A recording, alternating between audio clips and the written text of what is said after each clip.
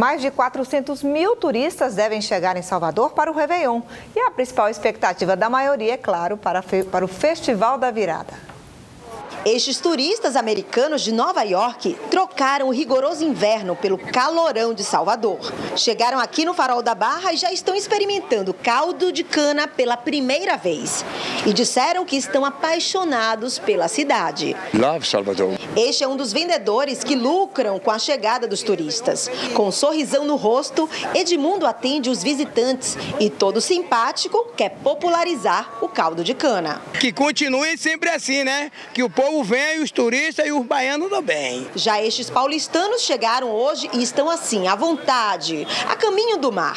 Querem aproveitar cada minuto da cidade e já fazem planos para os shows do festival Virada Salvador. Hoje eu tô a fim de ver o show do Gilberto Gil, mas Pablo Vittar vai vir para aquecer e deixar nossos corações aflitos. Encontramos também encantado com o Farol da Barra este engenheiro de Curitiba que veio curtir a virada com a família. Tentar aproveitar um tempinho com ele agora, final de ano, que janeiro já tem que voltar com tudo pro trabalho, né? Dos 430 mil turistas que não param de chegar em Salvador, a maioria vem de cidades do interior. Mas aqui no aeroporto encontramos turistas que vêm de São Paulo, Rio de Janeiro, Minas Gerais e de várias partes do mundo. Amamos, gostamos muito da gente, da comida, da cultura.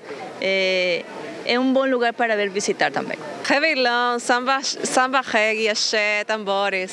Diversos setores da economia ganham com os turistas que não param de chegar aqui em Salvador. Só com alimentação e hospedagem, o gasto médio diário de cada visitante chega a 300 reais. Não ganha só hotel e restaurante, que são os mais beneficiados, mas ganha também a mulher do cafezinho, o vendedor de coco, quem vende lençol, quem vende ar-condicionado, ou seja, é uma grande integração é, gerando receita para para todos.